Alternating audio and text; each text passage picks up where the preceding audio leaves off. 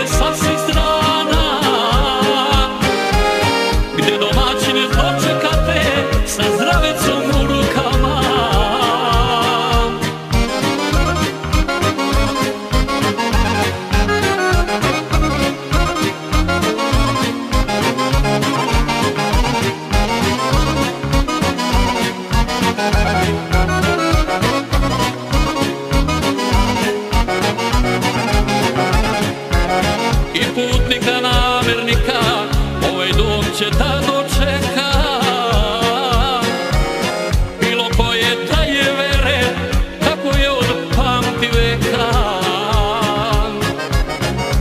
putnika, namernika